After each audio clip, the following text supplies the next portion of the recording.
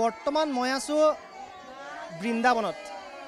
আৰু বৃন্দাবনত এয়া যি পৰিৱেশ দেখিছে এইসকল বিধৱা। আৰু বিশেষ কাৰণত আজি মই এই বাতৰিটো কৰিবলৈ ওলাইছোঁ কাৰণ এয়া দেখিছে উৰুলি তেওঁলোকৰ আনন্দ উল্লাস ৰাধাৰাণীৰ স্থানত যি ৰাধাৰাণীৰ স্থান বুলি কোৱা হয় বৃন্দাবনত পবিত্ৰ বৃন্দাবনত এয়া দৃশ্য।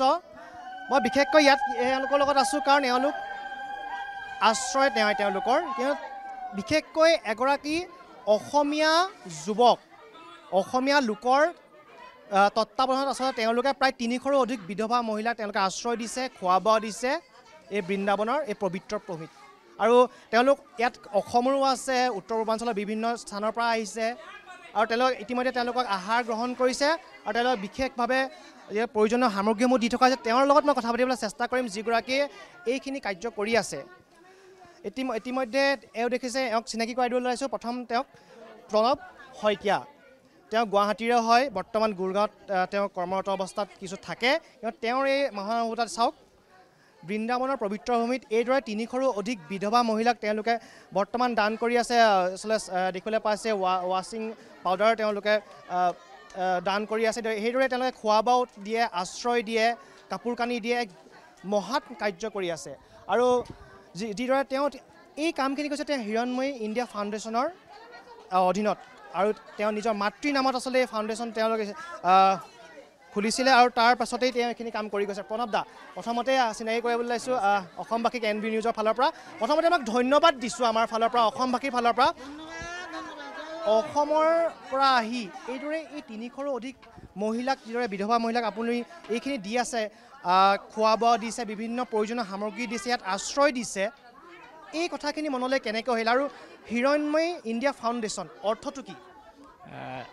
আমি হিৰণময় ইণ্ডিয়া ফাউণ্ডেশ্যন হয় হিৰণ ক'ভিডৰ সময়ত যেতিয়া মই বৃন্দা মই বৃন্দাবনত আজি বাইছ বছৰৰ পৰা আহি আছোঁ। কিন্তু ক'ভিডৰ সময়ত যেতিয়া মই বৃন্দাবনত আহিছিলোঁ তেতিয়া তেওঁলোকৰ এই মাতাবোৰৰ অৱস্থা বহুত বেয়া আছিলে। কোনো মানুহো নাহে। তেওঁলোকে আনকি বহুত মাতাই না বৃদ্ধ মাতাই আশী নব্বৈ বছৰৰ বৃদ্ধ মাতাবোৰে সেই কুৰাদানৰ পৰা খানা খাই আছে দেখিছিলোঁ। তেতিয়া মই সিদ্ধান্ত ল'লোঁ কি মাতাসকলৰ কাৰণে কিবা এটা সেই কৰিম আৰু। প্ৰথমতে এই তেওঁলোকক সেই দিয়া আৰম্ভ কৰিছিলোঁ। আমি ৰেচন দিয়া আৰম্ভ কৰিছিলোঁ। কিন্তু দেখিলোঁ ৰেচন দিয়াটো অলপ খেলি মেলি হয়। সেই তাৰপাছত আমি তেওঁলোকক খানা দিয়া দুবেলা সেই দিয়া। আৰু তাৰ লগে লগে বস্তু দিয়া একদম আৰম্ভ সেই কৰিলোঁ। তো এতিয়া প্ৰায় চাৰি পাঁচ বছৰৰ পৰা আমাৰ এই যিটো প্ৰয়াস আমাৰ চলি আছে। আৰু তেওঁলোকক আমি প্ৰত্যেকটো বস্তুৱেই দি দি আহোঁ। কথাটো হ'ল এখন পবিত্ৰ ভূমিতে পবিত্ৰ কাম সঁচাকৈ শলাগ ল'বলগীয়া। আমি গৌৰৱ অনু- অনুভৱ কৰিছোঁ যে অসমৰ পৰা আহি অসমৰ হৈ আপুনি ইয়াত এনেধৰণৰ এক মহৎ কাৰ্য কৰি আছে। কথাটো হৈছে জানিব বিচাৰিছোঁ আমাৰ ফালৰ পৰা এন বি নিউজৰ ফালৰ পৰা ইয়াত কিমান গৰাকী মহিলা আছে ইয়াত অসমৰো আছে বা উত্তৰ পূৰ্বাঞ্চলৰ আছে নেকি?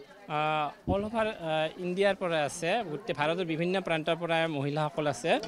আৰু অসমৰ পৰা আছে কেইগৰাকীমান তো বৃদ্ধ আছে ডেকাও আছে।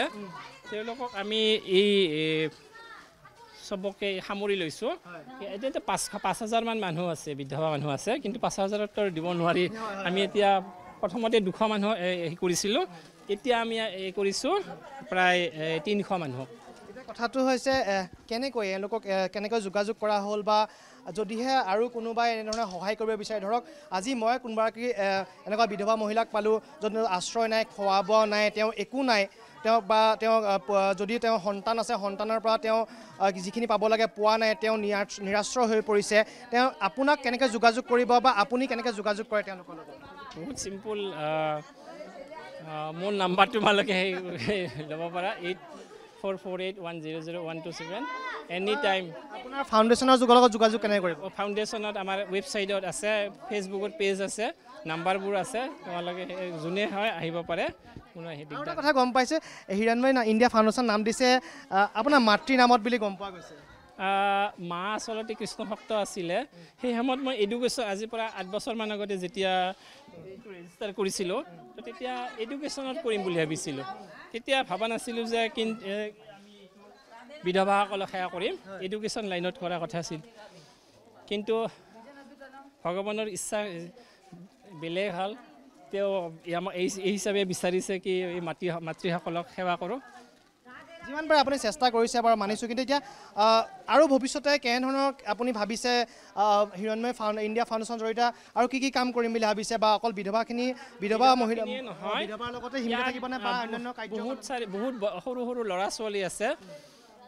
বহুত গৰীব সেই দুখীয়া ফেমিলিৰ তো তেওঁলোকৰ আমি এডুকেশ্যনখিনিও কৰিম।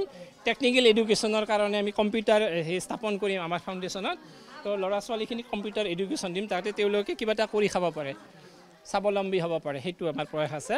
আৰু বহুত মাতৃ কিছুমান বিধৱা আছে ডেকা বেকা বিধৱা মানুহ এই ভিক্ষা কৰি ফুৰে। তেওঁলোকক আমি তেওঁলোকক নহয় কিছুমান টেকনিকেল মানে শিক্ষা দিম কাৰিকৰী শিক্ষা দি তাকে তেওঁলোকে স্বাৱলম্বী হৈ খাব পাৰে। সঁচাকৈ আহ, প্ৰণৱ দাৰ এই সঁচাকৈ যি মহান যি কাৰ্য সঁচাকৈ শলাগ ল'বলগীয়া অসমৰ এগৰাকী লোকে এইদৰে বৃন্দাবনৰ পবিত্ৰ ভূমিত যি পবিত্ৰ কাম কৰি গৈছে ইয়াত দেখিবলৈ পাইছে হিৰণ্ময় ইণ্ডিয়া ফাউণ্ডেশ্যন তেওঁ মাতৃ নামত এই সংস্থাটো তেওঁ স্থাপন কৰিছে আৰু এইদৰে দেখিবলৈ পোৱা গৈছে বৃন্দাবনৰ পবিত্ৰ ভূমিত তেওঁ এই মহৎ কাৰ্যই সঁচাকৈ শলাগ ল'বলগীয়া